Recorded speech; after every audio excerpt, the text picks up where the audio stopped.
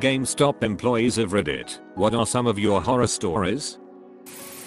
4 come to mind. A woman comes in to trade in an old Xbox 360 in a box. I open the box and the smell hits me. Rat droppings, grime, cockroaches and all have spent time in this thing. Luckily my manager noticed and we were able to decline the trade. Spent 5 minutes disinfecting the counter before I helped the next customer. One time I was trading in a PS4 I think. We were chatting while I was wiping his hard drive and commenting on all his achievements. Sometime during this conversation he got nostalgic and changed his mind, but not before I had already deleted all his data. Felt terrible. One homeless looking guy comes in during one of the few times I'm alone in the store. He was dragging around a trash bag, and I was doing my best to keep him in eyesight as he was all kinds of sketchy. He managed to stuff an Xbox 360 in the bag and walk out, but I ran out and asked him to give it back, which he did, saying please don't call the cops. I did. The last one kinda shook me. This woman comes in with a gaggle of kids, maybe four.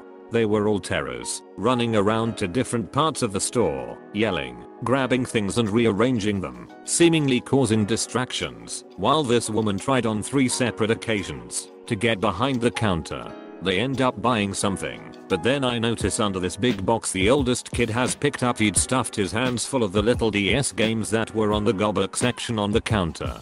There was more here, but I've lost some of the details, but it really gave me the impression this was all coordinated by their mother. It's one thing to see adults steal, to see kids who are encouraged to do so, just terribly terribly sad. I was an assistant manager when one of the Madden games came out. 04, maybe? We were doing a big midnight opening for it and everybody was having a great time waiting for the game, which we were picking up from another store about 30 miles away. Around 11 o'clock, after people had been waiting for 2 hours after the mall closed, I got a phone call. The game wasn't coming. I almost broke down sitting behind the register, dreading the thought of telling everybody that they just wasted their time. To make matters worse, another store within walking distance of us got their games. I just wanted to die that night. I'm so grateful that our customers took it well and didn't get too angry. You didn't get a shipment ahead of time. Of not that's lame. I think the only time we'd get them the day before, if they were stupid crazy collector's editions. This was back when midnight openings were just becoming a thing with us. We didn't have full logistical support for them, and most big name street dated games arrived the day of. Us getting Halo 2 a week beforehand was enough of an anomaly that I remember it to this day. Had a couple come in to return a Sesame Street video game and a controller. They had a receipt from over a year ago. The game was scratched to hell, and the controller was full of dried soda. They said it didn't work anymore shocker and were furious when I wouldn't give them their money back. Like standing there screaming at me. I was the manager, so I had no one else there to back me up. It was crazy. Their kid was bawling. The lady was swearing like a syphilitic sailor and the husband couldn't finish a sentence. Pretty sure they were both super high too. So that was fun. When the PS2 came out I was assistant manager and my manager would sell them out of the back room at a markup. Such a snake. I took the demo Xbox home with a copy of Halo before the system launched one night and had a 4 player all night party. One of our other local stores had someone dig through the outside wall and steal everything out of their back room. Dig though the outside wall. Did they find out what he used? What was the wall made out of? That's pretty damn amazing. It was a cinder block wall. Just outside was one of the large dumpsters for them all, so he probably had a couple nights of pickaxe work to get through it, since it wasn't an easily visible place. Was crazy stuff. Ha. Also when you get done alphabetizing the Wii games and notice your hands are covered in mystery sticky stuff from all of the filthy children handling the cases. That was pretty gross. You think that's bad? Try being the IT technician at a junior high where every student has a Chromebook. I'd go through a giant thing of hand sanitizer every week. 11 to 14 year olds are ducking gross. Many computer repair techs wear latex gloves for this and similar reasons. Hell, I'm grossed out by my own laptop sometimes, just because my hands get very sweaty and leave grime behind on and around the keyboard and palm rest area. One time a woman screamed at me because her kid was tearing open a toy before paying for it and I kindly told him to wait a little bit. She seemed on the fence on whether she wanted to buy the toy or not for her kid. So you know I wasn't glad that her kid was already ripping it up she then proceeded to scream at me for being really awful with kids, a horrible person, bad at my job, etc. Also she wanted to complain to the manager if I ever talked to her kid like that again. She then angrily paid and walked of the store also people tinkering modding their console and then trying to return it because it doesn't work anymore and angrily insisting on having it bought that way in GameStop. Oh my god the people who broke their consoles trying to mod. I had one woman start throwing shit at me when I refused to take her return. She also called 9-1-1 because she believed the police would make me take it back.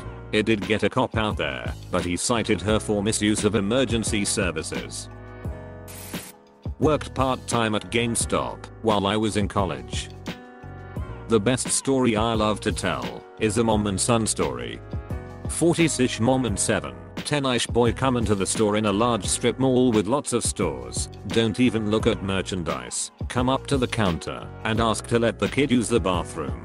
Clarified she's not there to buy anything but has spent thousands of dollars in our store previously. We politely tell her we can't let customers use our bathroom because it's in the back of the store with lots of high priced merchandise. That's the policy. We have cameras and corporate reviews the footage another story I have.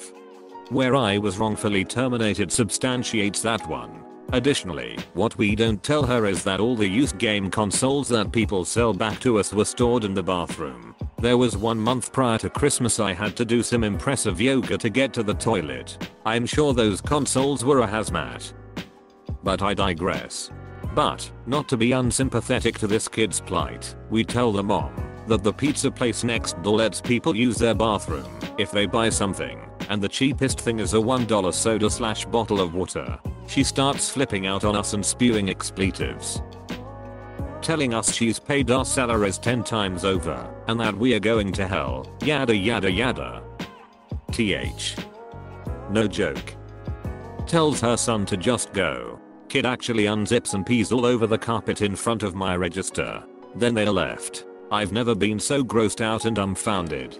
Had to close up for the day and half the next day while GameStop paid to have our carpets sanitized. Resulted in a loss of pay for the weekend. Wonder what happened to that kid. He's gotta be in his 20s by now. TLDR. Mom let her fully potty trained son urinate on the carpet in front of the registers when we didn't allow him to use the employee bathroom in our store when there was a perfectly good bathroom for him to use in the pizza restaurant next door. Note to self, don't buy used systems from GameStop as they may have spent more time in the bathroom than I have. Former employee, two wonderful stories. 1. Older lady brings in a bag. She looks like an addict and she wants to sell her Wii. I put my hand in the bag and it's soaking wet. Cat piss. She was furious I wouldn't take it. From that day forward, made every customer take all trades out of bags themselves too. My first store was long, and I had a kid and mom in back. Mom wasn't paying attention at all. 8 year old walking around. Gets really really quiet, then mom rushes the kid out of the store. Go back there, and he took a shit on the floor. Watch the tape. Mom finds him squatting. Lets him finish Ethan takes him out. Kid shat on the floor in my store too. But we had no cams in the store and they were long gone before we noticed. I was third key at the time, so I had to clean it up being alone. It was not a fun experience. Not an employee, but I was waiting in line to buy a game, and a guy came in with his 8-ish Y slash O child I assumed was his son, and pointed the kid to the Nintendo section as he went over to PlayStation. I was daydreaming, off in my own world, and it took me a second to realize a moment later that I was hearing water splashing. I turned around to see the kid projectile vomiting all over the floor and the Nintendo games the employee at the counter, the lady in front of me, and I all just watch this child empty his guts onto the floor before the father comes up to the son. You okay, bud? Yeah. Alright, let's get out of here. And without a word or even looking at anyone else, the two leave the store. Once gone, The three of us exchange wild looks, and the employee tells us it's his first day running the store on his own, and he doesn't have any cleaning supplies or know what to do. Poor guy. Parents, please don't let your kids throw up in GameStop. Apparently, when I was about 6 I threw up all over some lady's fur coat in a department store cashier's line. Worked at GS a long time ago, but I'll never forget this one. One night a guy brought in a really dusty and dirty GameCube wanting cash of course. I asked him if it worked, and he said he didn't know, because he hadn't played it in a long time. I told him that we have to check every console, and when I turned it on and opened the lip about a hundred roaches came running out all over the counter. Did it work, though? Opening it removed all of the bugs, so it must have worked.